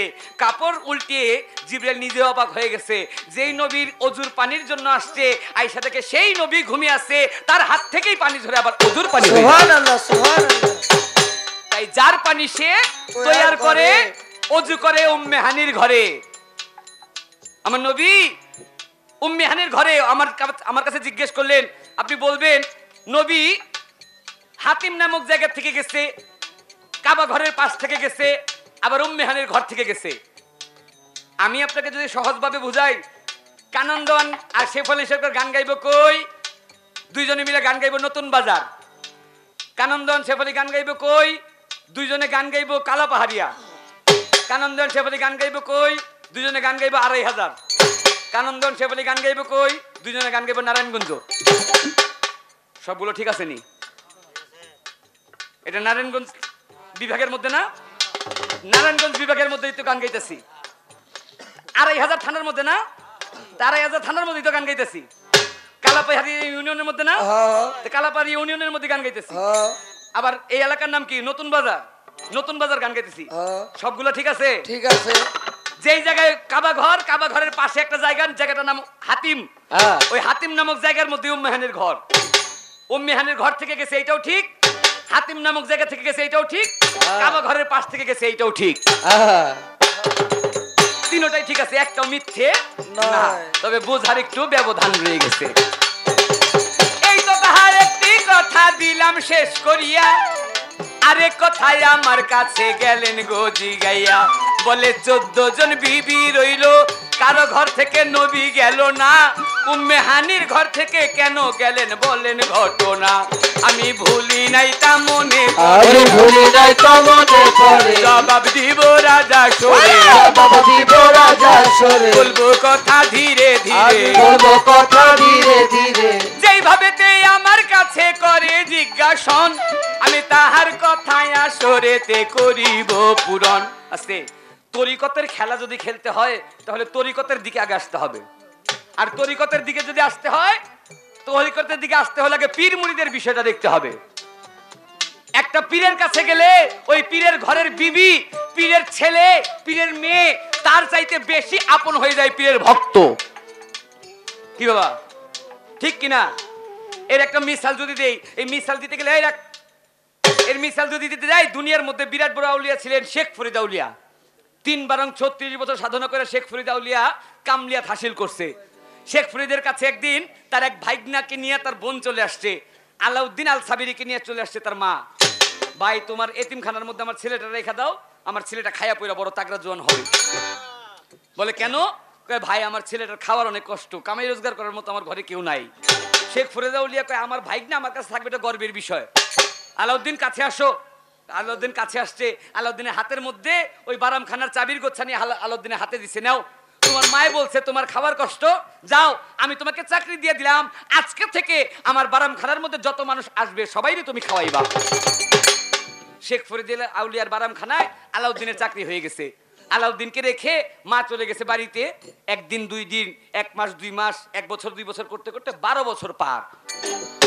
বারো বছর পরে মায়ে মনে মনে চিন্তা করে, বারো বছরে আমার আলাউদ্দিন খায়া পুরা কত বড় জানে হয়েছে এক নজরের জন্য আমার ছেলেটাকে গিয়ে আমি একটু দেখে আসি। আলাউদ্দিনকে দেখার জন্য ওই হাঁটতে হাঁটতে মা চলে গেছে শেখ ফরিদাউলিয়ার বারামখানায়। বারামখানার দরজা থেকে ডাকে, আলাউদ্দিন, বাবা আলাউদ্দিন ঘরের মধ্যে আয়, ঘরের বাইরে আয়। আমি তোর একটু দেখি, কত বড় তাগড়া জোয়ান হইছস? আর আলাউদ্দিন ঘর থেকে আসতে করে শব্দ দিয়ে কয়, মা গো, আমি ঘরের মধ্যে, তুমি ঘরের মধ্যে আসো। আলাউদ্দিনের মা ঘরের দরজা খুলে যখন ঘরের ভিতরে গেছে ঘরের ভিতরে গিয়ে দেখে, বারো বছর আলাউদ্দিন খায়া পয়রা তাগড়া জোয়ান হবে কি? বারো বছরের মধ্যে, শরীরের মধ্যে যতটুকু মাংস ছিল, ততটুকু মাংস পর্যন্ত চলে গেছে। ছটাক মাত্র মাংস আলাউদ্দিনের শরীরের মধ্যে নাই। গায়ের সাথে চামড়া লেগে গেছে হাড়ের সাথে। আলাউদ্দিনের মা মনে মনে চিন্তা করে, হারে, ছেলেটারে ভাইয়ের কাছে দিলাম, ভাইয়ের কাছে খায়া খায়া পয়রা তাগড়া জোয়ান হবে। তাগড়া জোয়ান হবে তো দূরের কথা, গায়ের মধ্যে যা ছিল তাও শেষ। মা একটু রাগ হয়ে গেছে। অনুরাগের বসে আলাউদ্দিনের মা আলাউদ্দিনের হাতের মধ্যে ধইরা আলাউদ্দিনকে নিয়ে টানতে টানতে চলে গেছে শেখ ফরিদের কাছে। ভাই শেখ ফরিদ, তোমার কাছে আমার ছেলেটারে দিছিলাম, খায়া পয়রা বাইচা থাকবে। আর আমার ছেলেটার মরণের অবস্থা, শেখ ফরিদ আউলিয়া মুসকি মুসকি হাসে, আর ডাক দেয়া কি, কির আলাউদ্দিন? আলাউদ্দিন, তুই কি খাস নাই? আর বলতে দেরি, আলাউদ্দিন দুটা চোখের পানি ছেড়ে দিছে, মামা, আমার মায়ে নেই, যেদিন আপনার কাছে আমাকে বিক্রি করেছে, যেদিন আপনি আমাদের মুরিদ করছেন ওই দিন আপনি আমার হাতের মধ্যে চাবির গোচ্ছা দিয়ে বলেছেন, আলাউদ্দিন, সবাই তুমি খাওয়াইবা। মামা, আপনি যখন আমার হুকুম দিছেন, ওইটাই আমার জন্য কর্তব্য। আপনি আমারে বলছেন, সবাই খাওয়াইবা। আপনি সবাই খাওয়াইতে বলছেন, আপনি তো আমার খাইতে বলেন নাই। দয়াল, আপনি আমারে খাইতে বলেন না তাহলে আমি খাই কীভাবে? বলে, তাহলে বাল্লাউদ্দিন এই বারো বছরের মধ্যে তোমার কি ক্ষুধা লাগে নাই? তোমার তৃষ্ণা লাগে নাই? তোমার কষ্ট হয় নাই? আলাউদ্দিন বলে, মামা, আমার যখন ক্ষুধা লাগতো, আমার যখন তৃষ্ণা লাগতো, তখন আমি আপনার নাম জপনা করতাম। আর আপনার নামের মধ্যে এত মধু, আপনার নাম জপনা করলে আর আমার ক্ষুধা তৃষ্ণা থাকতো না, আমার আর ক্ষুধা লাগতো না। আমাদের আলী আপা একটা গান লেখছে না, দয়াল চাঁদের নামের মালা গো, নামের মালা গলেতে পরি, মুর্শিদেরই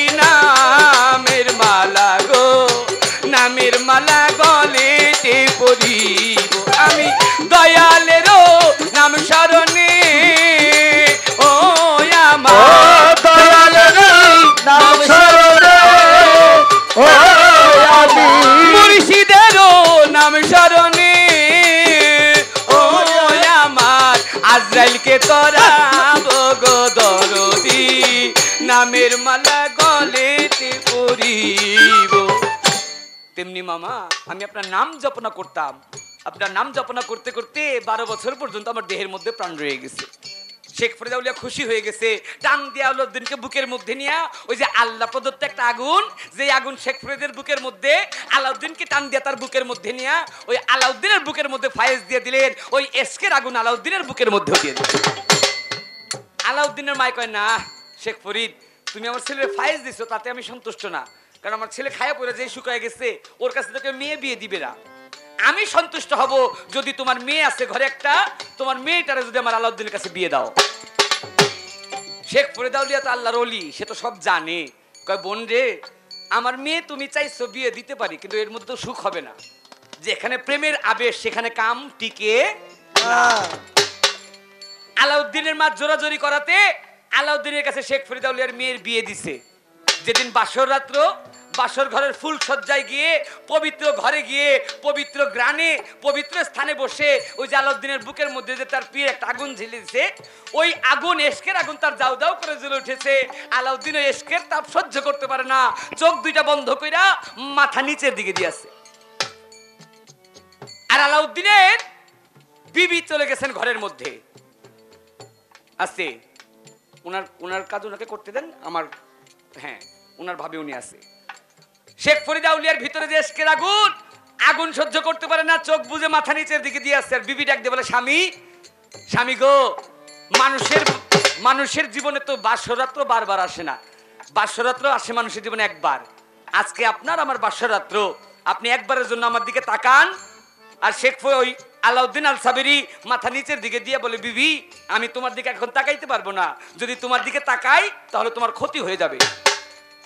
আর বিবি বলেন আসামি আপ- আজকে যে আমার বাসরাত্র এই জন্য আমার সখীরা যে আমার সুন্দর সাজে সাজাইছে, আমারে দেখলে আপনার মনের মধ্যে একটু প্রেম জন্ম হবে। আপনি তাকান, আলাউদ্দিন তাকায় না। আলাউদ্দিনের বিবি আলাউদ্দিনের ডাকতে ডাকতে যখন আলাউদ্দিনের শরীরের মধ্যে হাত রাখছে, আলাউদ্দিনের শরীরের মধ্যে হাত রাখার সঙ্গে সঙ্গে আলাউদ্দিন চোখ মেলে তাকাইছে। আর চোখ মেলে তাকানোর সঙ্গে সঙ্গে বুকের মধ্যে যে এসকের আগুন ছিল, ওই আগুনকে তার চোখ দিয়ে বের হয়ে তার স্ত্রীর শরীরের মধ্যে লেগে স্ত্রী পুরো ছাড়খাড় হয়ে গেল। আউড়া। তার স্ত্রী পুরো ছাড়খার এই জন্যই মাতাল কবি রাজ্য একজন গান লিখেছেন ওবাসী কেন? শেখ ফরিদুলের ছেলে একটা ছিল ঘরের মধ্যে। মনে মনে চিন্তা করে আমার বাবা বাড়ির মধ্যে কেমন ভক্ত আনলো। এই ভক্তের জন্য আমার বোন পুরে শেষ। যার জন্য আমার বোন পুরে গেছে ওরে আমি জীবিত রাখব না। আলাউদ্দিন রাত্রেবেলা ঘরের মধ্যে জিকি রাজগার করে ধ্যানে মগ্ন যে ঘরের মধ্যে আলাউদ্দিন ওই ঘরের চারিদিক দিয়ে আগুন আগুন জ্বালায় দিছে।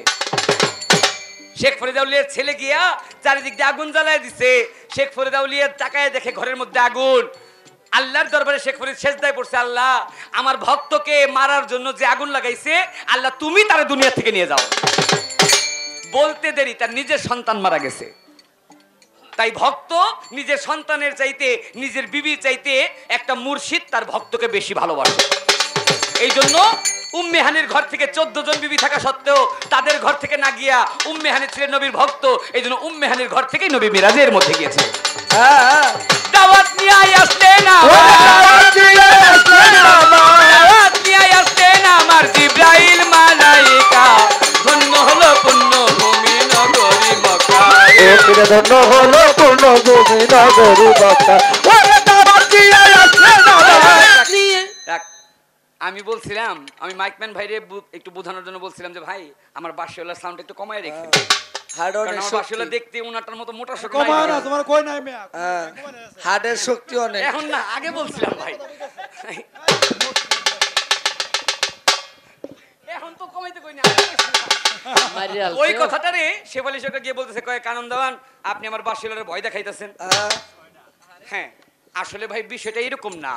বিষয়টা হচ্ছে কি আমার সাথে যে ঢুলি চলে ও আজকে প্রায় আমার সাথে আট নয় বছর যাব।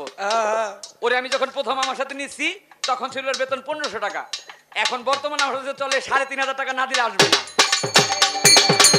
বাসিওয়ালার মোটামুটি ওরকম তিন থেকে সাড়ে তিন হাজার টাকা।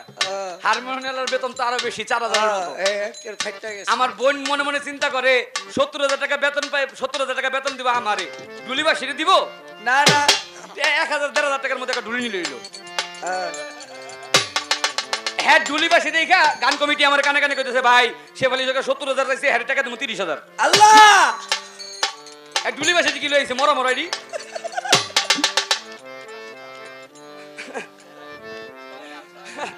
আমার কয়েক আনন্দ আনন্দ শিখনা যাক না আর বাসিওয়ালা শিখনা যাক না।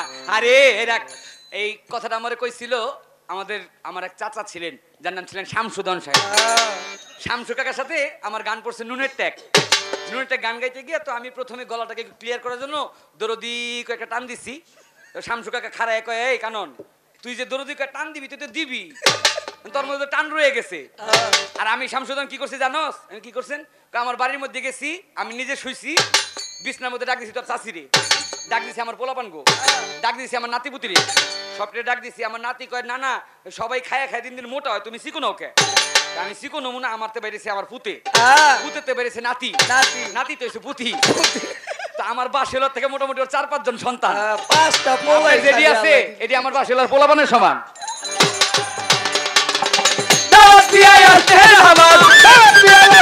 আমার জিন্দাগির মালাইকা।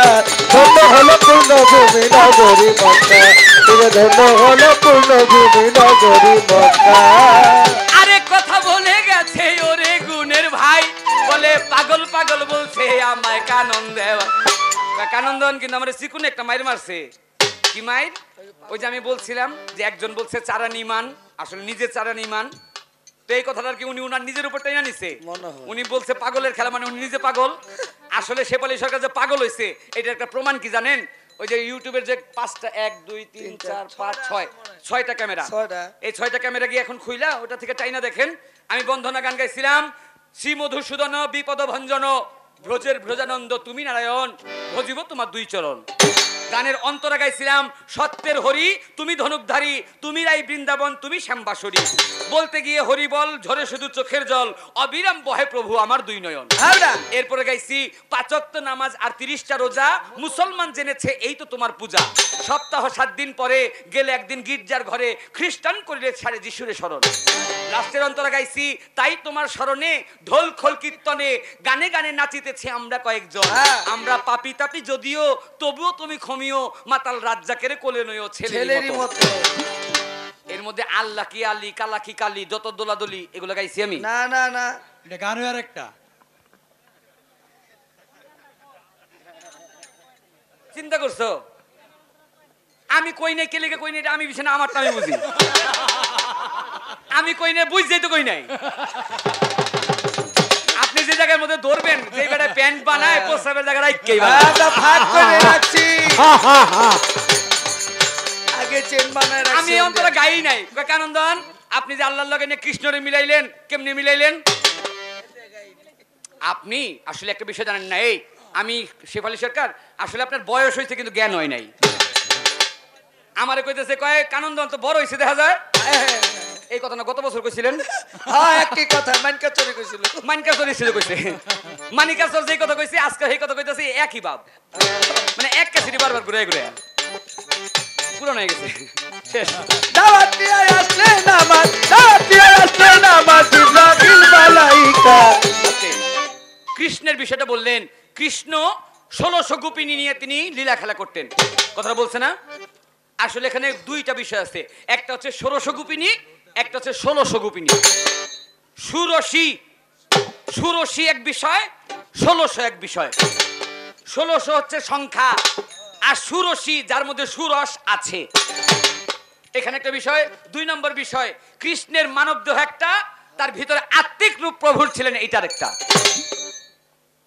শ্রীকৃষ্ণ জিউ এক জিনিস, আর শ্রীকৃষ্ণ মহাপ্রভু এইটার এক জিনিস। এতটুকু আপনাকে বললাম, ওই যে রাধা রাধার স্বামী ছিলেন শ্রীকৃষ্ণ, ওই শ্রীকৃষ্ণ আর মহাপ্রভু শ্রীকৃষ্ণ, ওই শ্রীকৃষ্ণ, দুই শ্রীকৃষ্ণ এক না। দুই কৃষ্ণের মধ্যে পার্থক্য আছে, যেমনি করে আমার নবীর দেহ ছিলেন তিনটা। নবীর দেহ ছিলেন তিনটা, মালাকি, বাসারি, হাকিকি। মানুষের মতো দেখতে একটা আকার, নূরের একটা আকার, আমার আল্লাহ প্রদত্ত একটা আকার।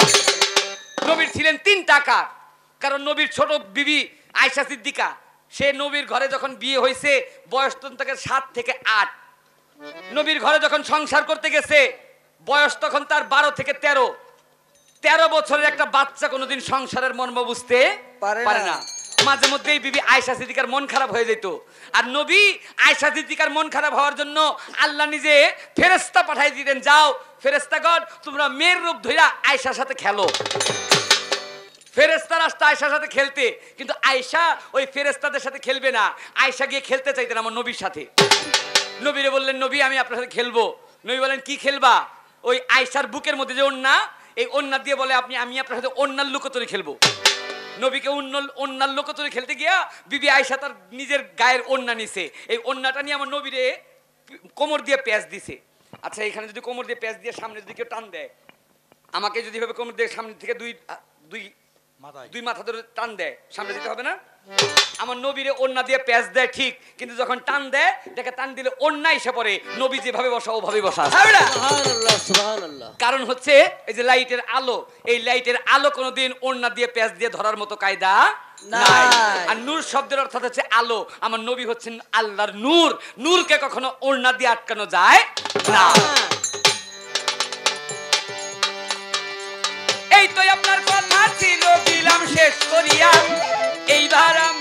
আস্তে আমারটা তো ভালো যেমন তেমন।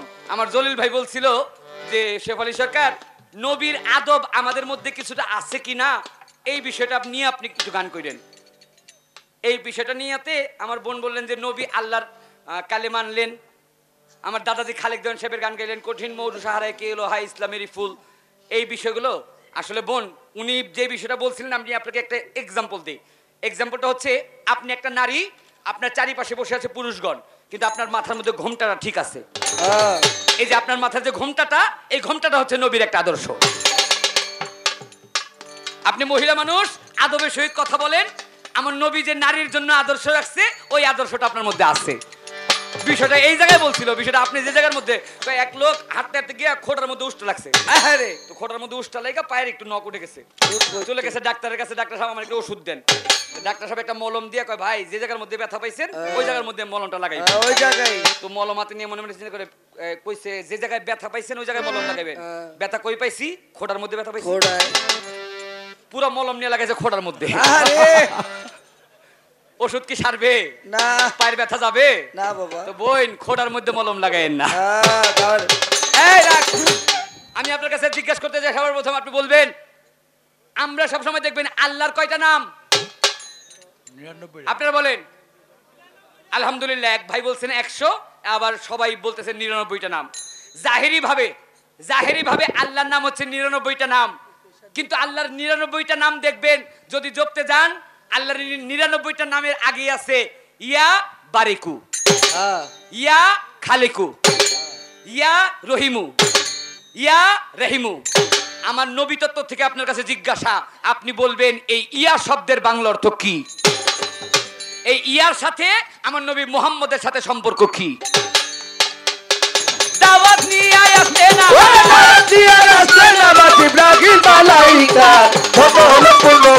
নগরী মক্কা তীরে ধন্য হলো পূর্ণভূমি নগরী মক্কা